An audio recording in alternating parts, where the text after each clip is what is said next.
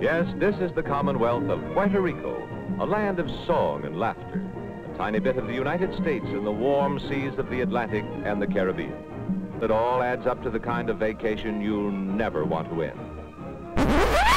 It's been two painful years since Hurricane Maria swept through Puerto Rico and much of the Virgin Islands. What's changed and what hasn't? And what do the rest of us have to learn from Puerto Rico? Here to sort all that out are Rosa Clemente and Ed Morales. It's all coming up on the Laura Flanders Show, the place where the people who say it can't be done take a back seat to the people who are doing it. Welcome.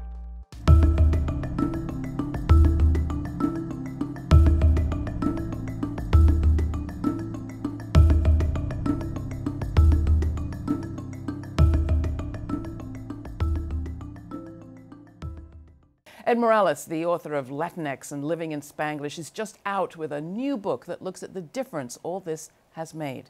Specifically on the cherished belief that many Puerto Ricans have held that being a U.S. territory would bring protection, development, and a piece of the American dream. The reality behind that fantasy is at the heart of Ed Morales' very personal as well as political new history book, Fantasy Island Colonialism, Exploitation, and the Betrayal of Puerto Rico. Today on the show, Ed's joined by another return guest to this program, Puerto Rican activist Rosa Clemente. Rosa spent much of her summer in San Juan as that city erupted into sustained protests against corruption and gender violence. And this August, those protests resulted in the ouster of Governor Ricardo Rosselló and his replacement after the intervention of the Puerto Rican Supreme Court with Wanda Vázquez Garced, his former justice minister. Welcome. Thank you for coming back. Um, Rosa, I got to start with you because the last time I was looking at you in a sort of semi studio where we were talking right after Hurricane Maria, your hair was on fire. You were just back from the island. You were saying, We're looking at a Puerto Rico for finance and not for people. What does it look like now? Yeah, I mean, I, I still believe that the ultimate goal will be to have Puerto Rico, but no Puerto Ricans in it, you know. And um, and the more these two years have passed, with the work of um, Naomi Klein and um, and and and Ed and and Yarimar Bonilla, you know, really kind of laying out what we thought was potentially going to happen, you know. But when you begin to read it and how they've all contextualized it, right, it's it's very real, and um, I think there's we have to understand more that there are a group of particularly young white rich men um, that want to try out all this cryptocurrency and Bitcoin and see if Puerto Rico is like the staging ground for that. But with that as well, and I don't think a lot of people still know this, that if you're in Puerto Rico six months plus one day as a U.S. citizen, you don't pay taxes you know. And um, in fact, yesterday I was reading a story about what's happening in Rincon, which is a, a, one of the most beautiful parts of the island, but surfers from all over the world come there, um, you know, to catch waves and, and, and, and have these competitions. And I was just reading an article about how the sewer system in Rincon is so backed up that it's now flowing into the ocean, right? And I mean, that goes to how do people have clean water? Right. Pensions are about to be cut again for those that are receiving pensions. Um, the gender violence keeps increasing. And just two days ago, there was a huge uh, drug deal that happened in one of the housing projects where hundreds of bullets were shot and six people were killed. You know, so yeah, I think this is part of what I would consider ethnic cleansing. Yeah. It also speaks to the fantasy that your whole book is about. That on the one hand, we can have the sunny surfing while the sewage is pouring out from a lack of infrastructure and investment. Yeah. Talk a bit about what this fantasy has been to you, because this is personal. Yeah. This is family fantasy. Right. Well, I mean, in some ways, like uh, the narrative is divided between the leftist, activist part of, of me, you know, which and nationalists and activists have always known that uh, the, the title that was uh, given to Puerto Rico as a commonwealth or semi-autonomous state um, that was a functioning democracy and economy was, was a fantasy. Yeah. Um, there's a lot of people who knew that was a fantasy all along. But when you get to the average Puerto Rican, you know, like my family and some people that I know, you know, they, they really felt like uh, the status was working for them on a certain level. You know, they were able to, you know, uh, have a middle class home and a car and go shopping at malls like you have in the United States. But uh, the economy of Puerto Rico was never self-sustaining. And the government, you know, has been in debt going all the way back to the 70s to ameliorate that. And the government had to become the largest employer. And so when the bottom fell out of the deals they were making through the municipal bond market, which was a lot of tricky stuff that was coming out of Wall Street. Mm-hmm, which you go into in the book. Um, you know, that's when the fantasy started falling apart. And these two twin catastrophes that happened, the, the culmination of the, of the debt and declaring that it was uh, unpayable, and then followed by Maria and the collapse of the electrical infrastructure, um, has had the effect of uh, it's starting to empty the population as well, which goes to Rosa's point yeah. about um, emptying the island of Puerto Ricans. Was it never self-sustaining, never could have been self-sustaining, mm. or was it created not self-sustaining, which is to say dependent? Yes, it was never self-sustaining because, well, first of all, you know, you know uh, Puerto Rico was a colony of Spain for 400 years before the United States. And uh, there were collaborators with the Spanish colonialism as well, and they were the ones who had most of the property in the sugar industry. But when the U.S. came in, um, they adjusted the tax laws to favor uh, outside interest, and the U.S. Uh, sugar companies were able to take over most of the best land for sugar. And the U.S. Uh, economy started to dominate the Puerto Rican economy, and it was never really allowed to uh, grow on its own. Uh, you know, the Jones Act making it impossible for uh, free tra for trade to happen. The U.S. set up Puerto Rico as a free trade zone in the early 20th century as a prelude to NAFTA in a way um, by, you know, just there were no duties charged to the U.S. for imports from Puerto Rico. And uh, then the U.S. dumped all of its consumer stuff that it wasn't selling in the U.S. onto Puerto Rico. And just to del delve into the history a tiny bit more, and then we'll come back to you, Rosa. A lot of Americans pretend they understand about the status of Puerto Rico, but we really don't.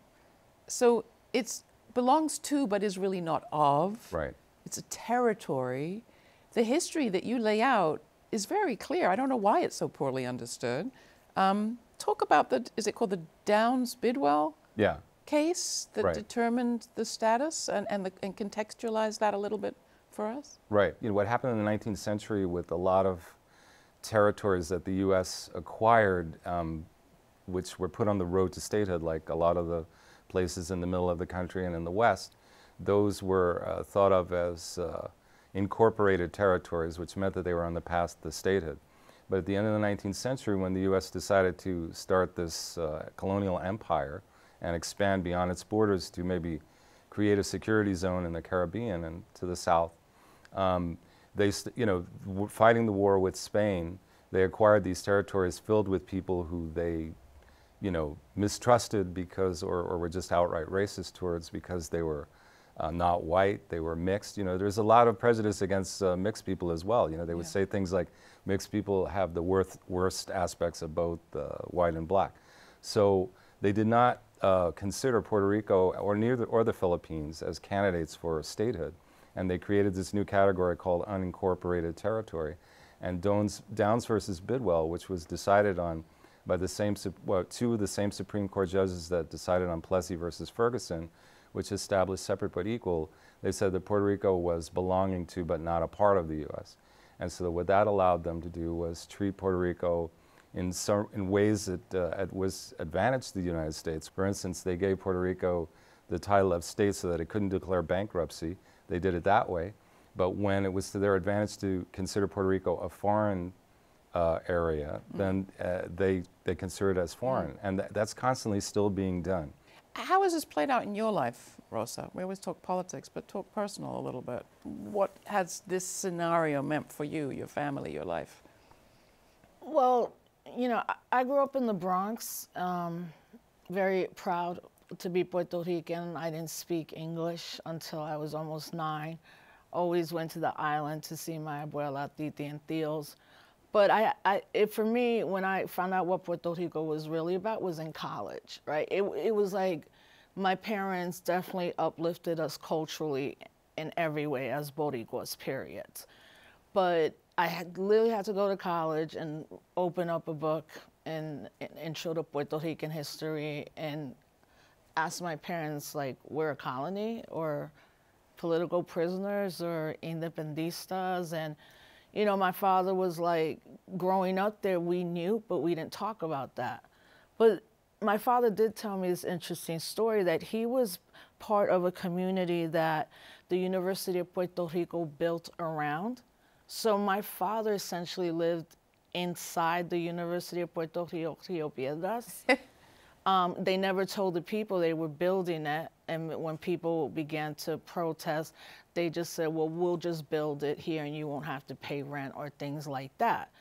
You know, so the older I've gotten, and especially in the last decade, you know, my father's telling me every story, you know, and even my mom is like, well, you know, you say you're an independista at night in a bar. You don't say that outside. You don't represent that because the repression um, on independistas or any leaders on um, that fight for freedom in Puerto Rico was always a deadly, deadly one. You know, so I would say when the hurricane hit, though, my parents called and was like, "You have, you're going, right?" And I said, "Yeah, you know, I got to raise some money, but I'm going." Um, it was very personal when I got there first because our house in Rio Piedra survived, and my uncle. Um, I was asking about electricity because he worked for Con Edison here in New York City for 40 years, and he said they're never going to fix this grid. It'll be at least a year before everyone has power. Yeah. And I was like, that's crazy. Like, if there's no power in New York City for like two days, the apocalypse would like, show, you know, right. a year. And he was completely right. Yeah. Because he said, we've already had these rolling blackouts. The grid is horrible. And he himself said, we can do renewable energy. We're an island. Yeah. We have sun. Like, we can do this. Um, but then when I visited my titi in the hospital in Bayamon, at first they weren't letting anybody go in. They were very afraid of infections. And when they let me go in, I had to put on like a hazmat kind of suit so not to get other people sick. And she was in so much pain because um, she lost everything in the house and had broken her leg. She had an infection. And the nurse said, at this time, we're only doing surgeries to save people's lives right now. So the part that my aunt was in was where eventually people would have to have amputations because mm. they didn't even have medicine to stop the infection. Right? So it's real, it's, it's visceral. Um, the older I've gotten, I understand exactly what Puerto Rico is um, and, and the colonial status. Also, been very lucky that a lot of our Puerto Rican former political prisoners are here. Oscar's still here. Rafael Cancel Miranda's here. You know, and, and seeing him in Puerto Rico, Rafael was like, it's just the next stage of struggle. Mm. So for me, when I got there in July and saw the unity of various different Puerto Ricans. You might believe in statehood, independence, colonial. You might have been gone from the island. You might be coming back to the island from, from here, the United States it was like that moment I always prayed for. I was like, oh, this is it. Because the goal to get Rosselló to resign mm-hmm. was primary. It reminded me of the, the, the, struggle around Vieques. At one point, everybody might have had a different political solution, but we knew immediately that Vieques has to, we have to stop it from be, being a bombing range. The, and U- the U.S. base that the Navy was using for, right. for weapons testing. And on May 1st, 2003, that victory happened and the U.S. Navy left. Now, to this day, they've never cleaned it up. And at the moment, Vieques doesn't have a hospital. So anybody that gets sick in Vieques have to go to Fajardo. But when I was at those protests, to see the amount of young people to see LGBTQ trans Puerto Ricans, to see anarchist leaning young people, to see feminists. And, and what was really amazing about that whole time was there was never a politician who spoke. You know, like here in the United States, you go to like these pre-planned events and seven people speak and you march with the police and then you leave. No, I mean, even walking through Old San Juan, they had changed all the names of the streets, like put tags over Hmm. them. Like, this is not Calle Fortaleza, now this is Calle Libertad. it was like a new kind of nationalism for me. It was like an intersectional nationalism because a lot of the failings of nationalism in the past has been has been too patriarchal, male dominated, and so this inclusivity of women and uh, who were at the forefront and uh, LGBTQ people, I thought was really um, encouraging and a model for what could happen in the U.S. or what is sort of happening in the U.S. a little bit. Um, but it was everyone was united at the same time by this pride for, for Puerto Rico, but also uh, with the uh, with the feeling that their their individual uh, marginalization and struggle was also being recognized, which I thought was uh, really positive. But one thing that I feel disappointed about is that the tech scandal, which is one of the reasons for the whole outburst of emotion, which was very justified, um, did not reveal enough, you know, there wasn't enough work shown to reveal the con- corruption that was happening in the government because there was all this evidence of the people around Rosselló, um, you know, fixing, rigging all the contract, and, and the investigation was not done. And you have Wanda Vázquez, who, you know, has a very uh, negative record on a lot of uh, issues for people in Puerto Rico running the government. So this, Um, yeah. I mean, this again is not unique to Puerto Rico that we see a scandal around an important thing. Yeah. Gender violence, those Yeah. texts were horrendous, what the former governor Yeah. Had to say, but not necessarily getting to the systemic issues. Is there a chance that this whole Ricky Resign movement could stay focused on the Mm-hmm. systemic corruption that you're talking about and Well- maybe the direction of development for the island? I think what a lot of people don't know is that before that, five days before, the FBI indicted Julie Keleher, the Secretary of Education, and her entire staff for corruption, for stealing. Julie Keleher is the one that gave the go ahead to close over 200 schools in Puerto Rico. So where was all that money going to? Was being funneled through 11 different LLCs that she has. She also has ties to Betsy DeVos.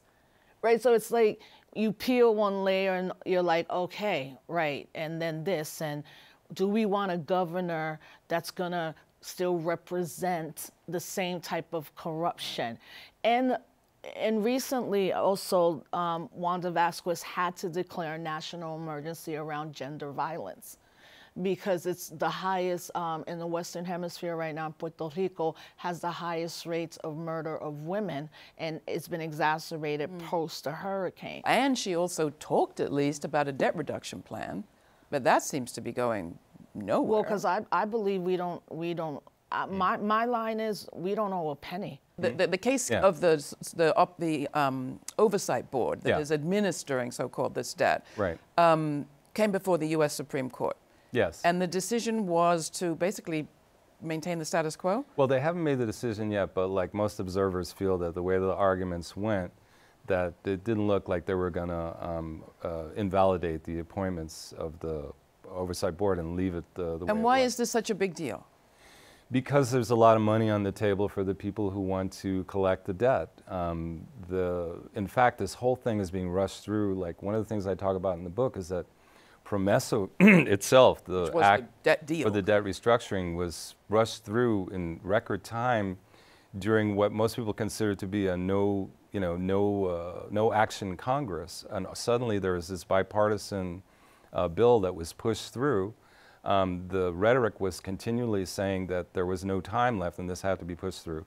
And then also, when the uh, uh, second, the First Circuit uh, Appeals Court uh, ruled that uh, the appointments of the, uh, the Oversight Board may have been unconstitutional, they also rushed to get this new debt restructuring deal done in the summer, knowing that they may, you know, that they, it's possible that the work of the board would be invalidated by the Supreme Court.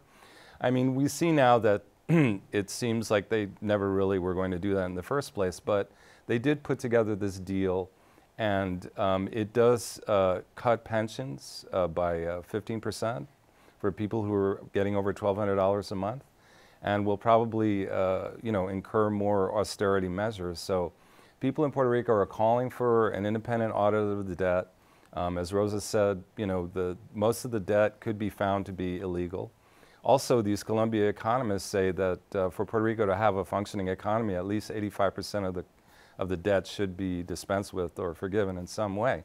So really, Puerto Rico is doomed to be in uh, debt slavery, really, for the next 40 years. Oh, but I'm not, that's so Yeah. not that's so not on brand for the Laura Flanders show. Puerto Rico is doomed. the the Right. last time we were on, we Well, were saying, oh, there are other models of development. Unless and- the board is overturned by a people's Yeah. movement, you know, or the well, so yeah. okay, grasping at straws here. Ricky resigned that movement, intersectional, perhaps for the first time, at least Mm. In certain ways, Yeah. um, powerful enough to oust this governor, although maybe not get to the heart of everything.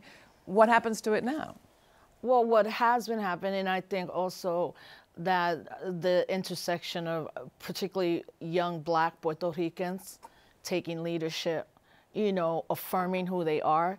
I think that's always an important step towards liberation. And, and we're seeing that really play out culturally and politically on the island, which is exciting. And now they have been having people's assemblies. You know, there's even people who are rewriting what a Puerto Rican constitution can look like. For me, those are signs of empowerment. Uh, They're signs that saying we can no longer depend on some governmental structure or an elected official, Right. right? Um, And we've done stories about the free schools that developed in the course of the uh, closing of all those schools. We talked last time you were on about Casa Pueblo, a sort of self-sustaining green power run community. Finca Vieques. Um, also, uh, uh, Comerío is a place that um, Defend Puerto Rico has been working on, just rebuilding houses, like on their own, you know, from donations from people, but rebuilding house to house. In Loíza right now has really actually come up a little stronger. They were hit with Irma, then Maria, but also Lu- Loíza being primarily African descendant has always been neglected by Puerto Rican leaders. Um, somebody that's known here in New York, Dr. Marta Moreno Vega, just opened up a huge institution there called Afro Corridor and an arts place so All right, that good. Samuel Lynch. Thank you, Rosa. You're helping Yeah. me with the mood here. Yeah. uh, Yeah. Because I do want to bring us back also to what Puerto Rico has to teach here. I mean, I look at this and I say, the fantasy of a democracy treating people equally, um, the fantasy that kind of colonial development by corporations and finance will work. Um, climate change and the movement against corruption ousts the governor, pulls together a movement. Um, you write repeatedly in the book that there are ways in which Puerto Rico has been a canary in the coal mine for people in this part of in, in the U.S. Um, would you read a little part that, that speaks to that? Because over and over again in your book, that comes across. I think this is the right page. Oh, no, it's not. Uh, page 72, it is. There it is. Um, Okay. And it speaks to how much better we would be off here if we knew more about what was happening there. Um, even as the real crisis began to snowball in Puerto Rico, it would not become apparent to the United States largely because there has been traditionally almost no media coverage outside of the Laura Flanders show of the island, outside of the occasional crime wave or hurricane. In fact, awareness of the crisis would become widespread at first only through the business press, which I had to spend hours going over, which saw a threat to not only American investors but also the municipal debt market itself. But the mainstream awareness of Puerto Ricans as a people and a nation has created a formidable discourse, one that would emerge suddenly to disrupt the stark silences and, and to directly or indirectly remind America that the loss Wall Street and Congress had worked so hard to externalize will not be shed so easily when the people who must pay for it are not as separate as had been thought. Through the debt crisis, as much as the United States tried to maintain its distance, Puerto Rico would finally become a permanent internal problem. And that really symbolizes how Puerto Rico is a symbol of marginalized communities all over the US and the world. Um, that, uh, you know, the, the debt crisis in Puerto Rico bears a lot of resemblance to the financial crisis of 2008, where they had all of these bad mortgages that they gave to people who couldn't afford to pay them back. It's a very similar mechanism. mechanism. So they really are us. Yes, right. Well, I've always been us. how's, how's your family? I'm sorry. How's your family? Oh, uh, well, you know, um, you know, my dad passed away in 2011. I have a thing about the book about how we understood how the electrical grid was going to affect things because we were always having blackouts up in the mountains. And there were times my dad was uh, at home for, you know, almost a, over a year um, convalescing, and we had him hooked up to machines that were feeding him through tubes. And we knew that when the power went out, you know, my mom would panic because his respirator, we had to make sure that the plant we had the, to generate electricity was working. But uh, you know, my mom is uh, you know still there. She had to move to the U.S. after the hurricane for a while. Couldn't stand being in upstate New York. Had to go back. Didn't like the cold weather. And now she's very happy, Mm. like in the community where all the people come by and, and take care of her. I've got to ask you, Rosa, before we go. We got 10 seconds, but why the shirt? The shirt. Oh, Shirley Chisholm. Um, you know, I, I, I have pretty much lost faith in almost every elected official, even ones that are Puerto Rican, you know. And um, I just always think it's important, especially for young people, to know like they're not the first ones to blaze a trail of uh, being an unapologetic elected official.